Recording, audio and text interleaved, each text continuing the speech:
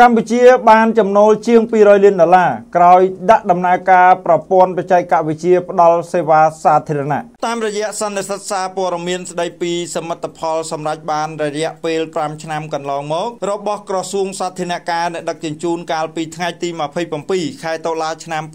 2022បានបង្ហាញថាបន្ទាប់ពីបានដាក់ឲ្យប្រើប្រាស់ប្រព័ន្ធបច្ចេកវិទ្យាផ្ដល់សេវាសាធារណៈកន្លងមក បានធ្វើឲ្យក្រសួងនេះរកប្រាក់ចំណូលចូលជាតិបានសរុបប្រមាណ208លានដុល្លារអាមេរិកឯកឧត្តមទេសរដ្ឋមន្ត្រីស៊ុនចន្ទថុលរដ្ឋមន្ត្រីក្រសួងសាធារណការអ្នកដឹកជញ្ជូនបានឲ្យដឹងថានាពេលកន្លងមកក្រសួងសម្ដេចបានសមិទ្ធផលជាវិជ្ជមាន និងផលប្រយោជន៍សំខាន់សំខាន់ជាច្រើនគួរឲ្យកត់សម្គាល់សម្រាប់ប្រទេសកម្ពុជាដែលក្នុងនោះមានវិស័យហេដ្ឋារចនាសម្ព័ន្ធផ្លូវស្ពានកំពង់ផែវិស័យដឹកជញ្ជូនផ្លូវគោកផ្លូវទឹកផ្លូវដែកវិស័យភស្តុភារកម្មនិងជាពិសេសការផ្តល់សេវាសាធារណៈតាមប្រព័ន្ធស្វ័យយ័តប្រវត្តិកម្មប្រកបដោយភាពងាយស្រួលឆាប់រហ័សតម្លាភាពនិងប្រសិទ្ធភាពជូនបងប្អូនប្រជាពលរដ្ឋកម្ពុជា ជាមួយគ្នានេះក្រសួងសាធារណការនិងដឹកជញ្ជូនបានបញ្ជាក់ថាបន្ទាប់ពីបានដាក់ឲ្យប្រើប្រាស់ប្រព័ន្ធបច្ចេកវិទ្យាផ្ដល់សេវាសាធារណៈនាពេលកន្លងមកនេះយើងសង្កេតឃើញថាក្រសួងសាធារណការដឹកជញ្ជូនបានរកប្រាក់ចំណូលចូលជាតិពីប្រព័ន្ធនេះបានគួរឲ្យកត់សម្គាល់ថែមទៀតខណៈប្រព័ន្ធក៏ជួយបង្កើនប្រសិទ្ធភាពការងារគ្រប់គ្រងនិងការអនុវត្តការងារនិងផ្ដល់សេវាជូនប្រជាពលរដ្ឋឲ្យកាន់តែប្រសើរឡើងថែមទៀតគួរបញ្ជាក់ថាក្រសួងសាធារណការនិងដឹកជញ្ជូនបានចាប់ផ្ដើមដាក់ឲ្យដំណើរការប្រព័ន្ធបច្ចេកវិទ្យាផ្ដល់សេវាសាធារណៈអស់រយៈពេល6ឆ្នាំមកហើយគឺគិតចាប់ពីឆ្នាំ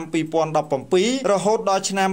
2022ជាក់ស្ដែងបន្ទាប់ពីបានដាក់ឲ្យប្រើប្រាស់ប្រព័ន្ធបច្ចេកវិទ្យាផ្ដល់សេវាសាធារណៈកន្លងមកក្រសួងរកប្រាក់ចំណូលចូលជាតិបានសរុបប្រមាណ208លានដុល្លារអាមេរិកចំនួននេះបើធៀបចំណូលសេវាសាធារណៈឆ្នាំ2021និង2016ឃើញថាមានការកើនឡើង22ដង ដោយក្នុងឆ្នាំ2016មុនពេលប្រើប្រាស់ប្រព័ន្ធស្វ័យយ័តប្រវត្តិកម្មចំណូលសេវាសាធារណៈមានត្រឹមតែ1.9លានដុល្លារអាមេរិកខណៈដែលចំណូលឆ្នាំ2021ពេលមានប្រព័ន្ធស្វ័យយ័តប្រវត្តិកម្មមានចំណូល42លានដុល្លារអាមេរិកប្រព័ន្ធបច្ចេកវិទ្យាផ្ដល់សេវាសាធារណៈឬប្រព័ន្ធស្វ័យយ័តប្រវត្តិកម្មគឺដាក់ឲ្យប្រើប្រាស់ក្នុងគោលដៅជាយុទ្ធនាការធ្វើទំនើបកម្មសេវាសាធារណៈនិងបង្ខិតសេវាសាធារណៈឲ្យកាន់តែគៀកប្រជាពលរដ្ឋសម្ដៅឲ្យការផ្ដល់និងទទួលសេវាសាធារណៈកាន់តែងាយស្រួលរហ័សទាន់ចិត្តស្របតាមប្រសាសន៍សម្ដេចតេជោហ៊ុនសែនគឺធ្វើឲ្យបានលឿនធ្វើឲ្យមានប្រសិទ្ធភាពនិងធ្វើឲ្យមានតម្លាភាពផងដែរមិនមែនគ្រាន់តែជាលំនៅឋានដ៏កក់ក្ដៅប៉ុណ្ណោះទេ តែជាទីកន្លែងដែលអាចសម្រាកលំហែ